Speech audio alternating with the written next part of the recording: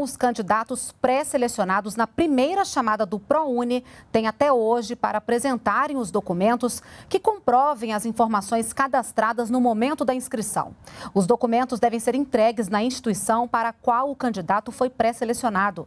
A perda do prazo ou a não comprovação das informações implica automaticamente na reprovação do candidato. Na próxima semana sai o resultado da segunda chamada.